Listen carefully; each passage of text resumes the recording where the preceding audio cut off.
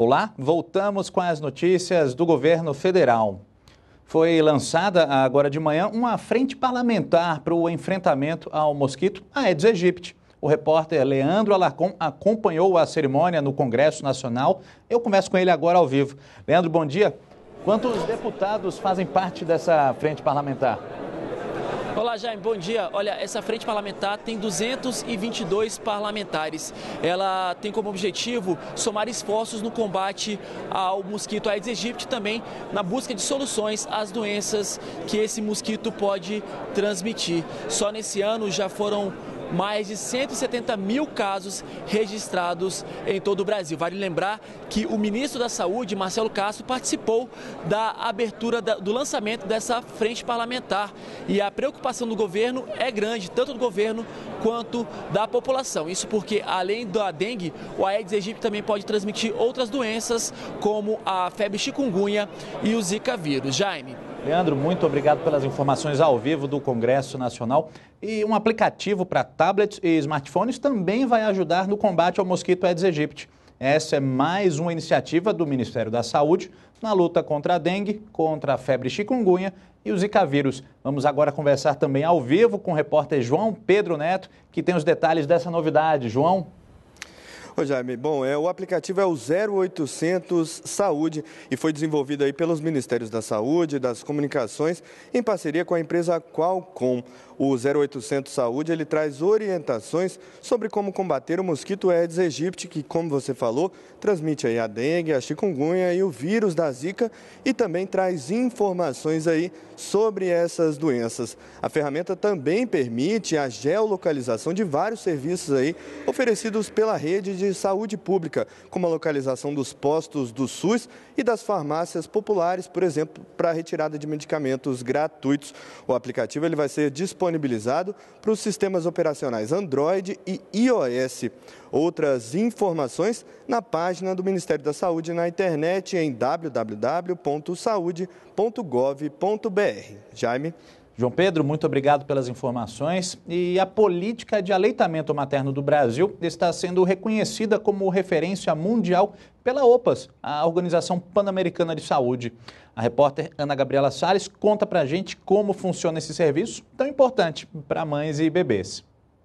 Eu estou aqui ao lado da coordenadora dos bancos de leite do Distrito Federal, doutora Miriam Santos, que conta um pouquinho agora para a gente como funcionam os bancos de leite aqui no Distrito Federal, por exemplo, que tem uma série de unidades. Eu estou inclusive aqui na frente de uma delas, que é no Hospital Materno Infantil de Brasília. Doutora Miriam, qual a importância dos bancos de leite, como eles funcionam na prática? Na prática, nós somos uma casa de apoio à amamentação. Todas as mulheres que desejam amamentar podem nos procurar como ponto de apoio para isso. Além disso, a gente faz a coleta e o processamento do excedente do leite que essas nutrizes têm para oferecer para os bebês prematuros, bebês doentes internados na UTI neonatal.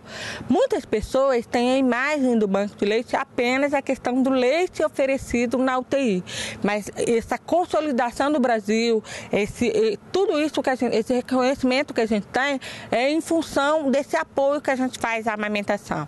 Porque a mulher que é apoiada, ela passa a ser ou uma doadora ou então passa a ser a nossa maior propagandista. É a pessoa que mais fala bem da gente para que as pessoas nos ajudem. E vocês cumprem todo um protocolo aí para garantir a segurança desse leite, né? Todas as técnicas, como é que funciona? Isso. Todos os bancos de leite do, do, do Brasil, ou melhor, da rede global de Banco de Leite, a qual o Brasil faz parte, é, seguem normas rigorosas de controle de qualidade, tá? Onde a gente tem todos os exames das doadoras, onde a gente sabe em cada potinho de leite o que tem, como é que ele pode ser servido, para qual bebê ele vai fazer melhor benefício, porque não existe leite materno, existe leites maternos, que podem, para cada situação do bebê, a gente pode lançar mão de um produto ou de outro. Só para a gente exemplificar, aqui no Distrito Federal, é, cerca de quantos litros de leite são é, doados por mês, enfim, tem um número que a senhora possa contar para a gente? Quantas crianças beneficiam?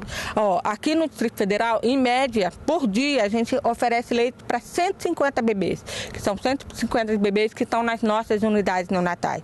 E aí a gente tem cerca de 1.300 litros de leite materno coletado por mês, né? Isso é suficiente para a gente fazer isso, mas a gente gostaria de ter mais doações, porque quanto mais doações, mais bebês serão beneficiados.